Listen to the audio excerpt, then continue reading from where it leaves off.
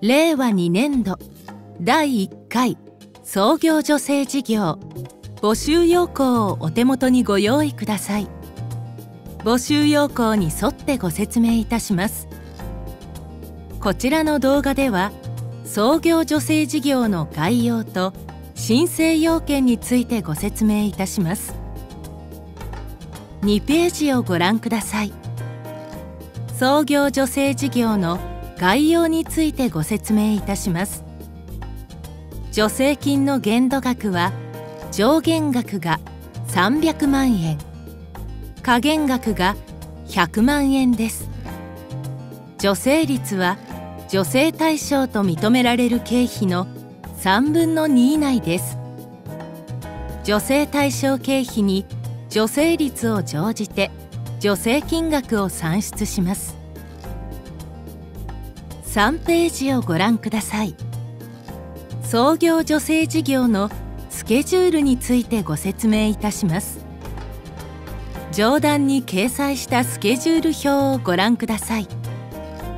採択が決定するまでの流れをご説明いたします。申請期間は4月13日から4月21日です。書類審査を行い審査を通過された方のみ7月1日から7月10日の期間に面接審査を行います。すべての審査を通過された方に対して9月1日に交付決定を行います。交付決定後のスケジュールをご説明いたします。助成対象期間は交付決定日から1年以上2年が経過する日までの間で事業に必要な期間です。令和2年9月1日から始まります。終了時期は対象期間が最長の場合で令和4年8月31日。対象期間が最短の場合で令和3年8月31日です。間終了後に実績報告を行っていただき書類の検査を経て助成金の支払いとなります。助成金は後払いです。助成対象期間が1年以上の場合1年経過時点で中間報告を行い助成金を受け取ることができます。これを中間払いと言います。4ページをご覧ください。申請要件についてご説明いたします。創業助成事業には4つの申請要件がありすべての要件を満たす必要があります。8ページをご覧ください。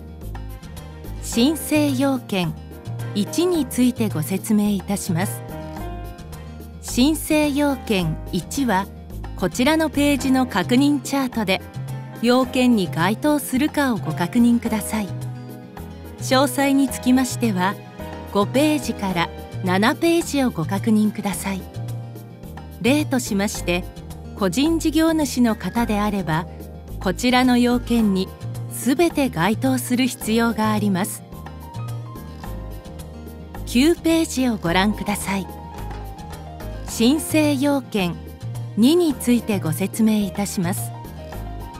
申請要件2は9ページと10ページに記載した1から18の創業支援事業のいずれか1つを利用し要件を満たす必要があります。11ページに注意事項を記載しておりますのでご確認ください。14ページをご覧ください。申請要件3について記載しておりますのでご確認ください。15ページをご覧ください。15ページから17ページまで申請要件4について記載しておりますのでご確認ください。16ページをご覧ください。申請要件4において特に注意が必要な点をご説明いたします。他の公的な創業関係の助成金と重複受給することはできませんのでご注意ください。他の公的な助成金と併願申請を行う場合にはこちらに記載した要件「い」と「う」をお読みください。17ページをご覧ください。申請要件に関するよくあるご質問を記載しておりますのでご確認ください。登記届出帳の所在地と主たる事務所の所在地が異なっている場合共に都内に存在していれば申請要件を満たします。都外で開業された方は申請までに所在地や納税地を都内に変更する必要があります。18ページをご覧ください。個人で申請された方が申請後に法人設立を行う場合はこちらの内容をご確認ください。令和2年7月1日までに法人設立し書類を提出する必要があります。令和2年7月1日までに書類を提出できない方は次回の募集時に法人として申請を行ってください。21ページをご覧ください。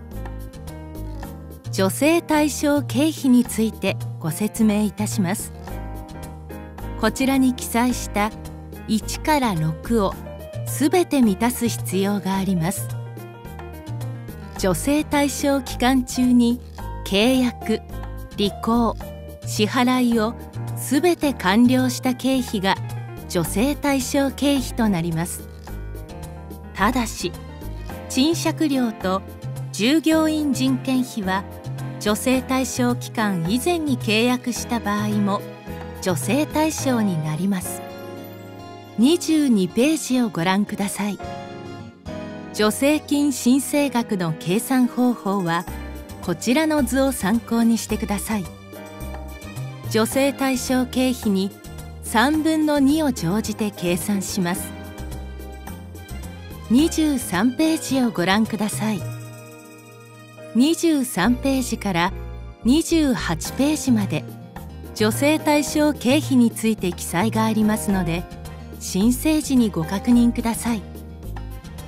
以上で令和2年度第1回創業助成事業募集要項の前半の説明を終了いたします。